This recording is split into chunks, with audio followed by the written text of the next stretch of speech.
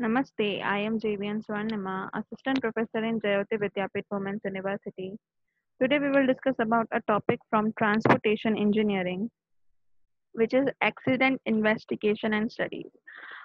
So uh, हमने अब तक एक्सीडेंट स्टडीज़ में क्या क्या पढ़ लिया एक्सीडेंट स्टडीज़ uh, क्या होती है उसमें uh, किस वजह से होती है क्या क्या उसमें हम रिपोर्ट तैयार करते हैं कैसे करते हैं ठीक है तो उसमें कोलिजन और जो हमारा दूसरा कंडीशन डायग्राम था, वो हमने पढ़े। ठीक है तो नेक्स्ट हमारा क्या है?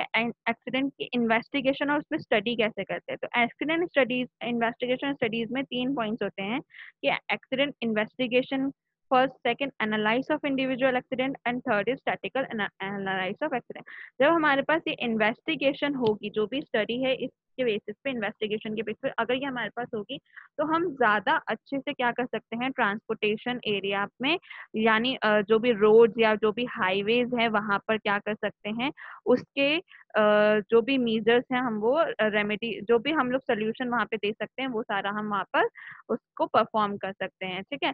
तो एक्सीडेंट इन्वेस्टिगेशन की सबसे पहले हम बात करते हैं, क्या होता है कि रिकॉर्ड किया जाता है जो भी जनरल ऑब्जर्वेशन हो, ठीक है? मतलब partially full brake application of collision condition diagram environmental condition क्या थी पेमेंट सरफेस कैसा था, ये सारी चीज़ें उस टाइम पे जो भी हुआ, वो सब क्या किया जाता है, उसको रिकॉर्ड किया जाता है। ये क्या होती है जनरल ऑब्जर्वेशन कहलाती हैं, ठीक है?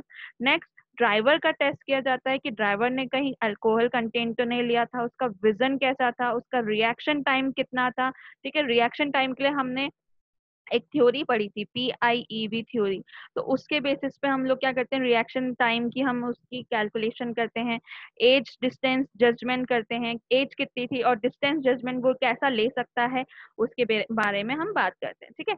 नेक्स्ट हमारा होता है कि skid resistance of pavement surface कैसा था, ठीक है? स्किड डिस्टेंस कितनी कितनी डिस्टेंस तक उसने स्किड किया व्हीकल्स ने, ठीक है? रेजिस्टेंस कितना हुआ स्पीड ऑफ़ व्हीकल उस टाइम पे जब एक्सीडेंट हुआ, वो कितनी थी? फिर हम करते हैं विकल टेस्ट के बाद कि विकल, जो हमारा विकल था, वो कितना पुराना था? उसमें इंडिकेटर्स सही थे या नहीं थे?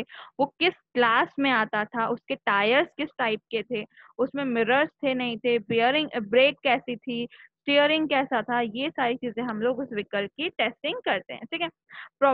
जो भी एक प्रोबेबल कॉज हो एक्सीडेंट का वो फाइंड आउट करने की कोशिश करते हैं कि टाइप ऑफ़ एक्सीडेंट क्या था पोजीशन ऑफ़ व्हीकल क्या क्या थी और ऑब्जेक्ट इन्वॉल्व क्या क्या थे। अगर कोई ऑब्जेक्ट की वजह से एक्सीडेंट हुआ जैसे पेड़ आ गया या फिर कोई आ, कुछ भी वहाँ पे रखा हुआ था जैसे ट्रक खड़ा हुआ था या कोई भी पार्क व्हीकल था उसकी वजह से कोई एक्सीडेंट हुआ तो क्या ऑब्जेक्ट था जिसकी वजह से एक्सीडेंट हुआ?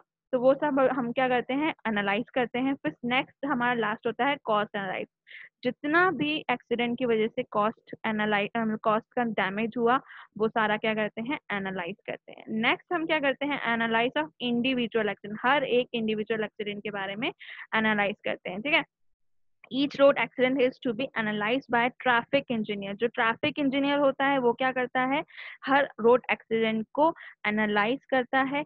उससे कुछ uh, क्या करता है? उसमें कुछ simple type of vehicular accident जैसे कि क्या क्या होते हैं कि एक मूविंग व्हीकल कोलाइड हो गई एक स्टेशनरी ऑब्जेक्ट से या एक मूविंग व्हीकल कोलाइड हो गया किसकी वजह से एक मूवेबल ऑब्जेक्ट से कोलाइड हो गया। दो आ, कोई भी जो व्हीकल्स थे वो अलग अलग डायरेक्शन में जाना था लेकिन वो क्या हुआ गलती से कोलाइड हो गए इंटरसेक्शन में तो उसकी वजह से ठीक है। Rear end collision of two moving vehicle कोई भी दो मूविंग व्हीकल का रियर एंड की वजह से क्या हो गया? कोलिजन हमारा हो गया। तो ये सारे क्या है? ये जो भी ऐसे टाइप्स होते हैं, उनको क्या करता है? हर एक ट्रैफ़िक इंजीनियर क्या करता है? उन रोड एक्सीडेंट्स को एनालाइज करता है। उनके क्या क्या मेजर कॉजेज थे एक्सीडेंट के, वो एनालाइज करता है। और क्या उस कंट्रीब्यूटिंग uh, होता है कॉजेज क्या क्या उस एक्सीडेंट की वजह से क्या क्या डैमेजेस हुए क्या क्या uh, नुकसान हुआ किस कहाँ पर क्या प्रॉब्लम क्रिएट हुई वो सारा क्या काम करता है ट्रैफ़िक इंजीनियर करता है। नेक्स्ट क्या काम होता है हमारा? स्टैटिकल एनालिसिस ऑफ़ एक्सीडेंट ठीक है? स्टैटिकल एनालिसिस ऑफ़ एक्सीडेंट में हम क्या करते हैं? स्टैटिकल एनालाइज करते हैं हमारे रोड एक्सीडेंट को। विद द हेल्प ऑफ़ क्या? Effectiveness of various measures to decrease the accident rate ठीक है? हम क्या करते हैं, जो भी वहाँ पर एक्सीडेंट हुआ, उसको इफेक्टिवनेस को कम करने के लिए एक्सीडेंट रेट को कम करने के लिए हमको क्या करना पड़ता है, वहाँ पर जो भी स्टैटिकल एनालिसिस करना पड़ता है, उस रोड एक्सीडेंट का जो भी वहाँ पर हुए हैं, ठीक है? और क्या करना पड़ता है? एक्सीडेंट रेट को हम क्या करते हैं? एक्सप्रेस करते हैं number of accident in year में। मान ली मान लीजिए कोई एक पर्टिकुलर लोकेशन है। उस पर्टिकुलर लोकेशन में उस पर, आ, कितने एक ईयर में कितने नंबर ऑफ़ एक्सीडेंट्स हुए? वहाँ पर हम क्या करते हैं? उसको वहाँ पर एक्सप्रेस करते हैं। उस जो भी हमारा मैप है उसमें हम क्या करते हैं? उसको शो करते हैं। एक्सीडेंट जिस भी वजह से होता है उसको फाइंड करते हैं। उसकी density per unit length of road कितनी थी वो फाइंड करते हैं और उसके बाद उसको क्या करते हैं आ, हम उस जो भी हमारा मैप है जो भी हमारा एनालिसिस टेबल है हम उसमें वहाँ पे उसको बताते हैं कि इतनी वजह से इस लाइन तक इतनी डेंसिटी से क्या हुआ था एक्सीडेंट हमारा हुआ था। तो ये सारी चीज़ें हम क्या करते हैं, हमारे इन्वेस्टिगेशन के लिए ये सारी चीज़ें हम करते हैं।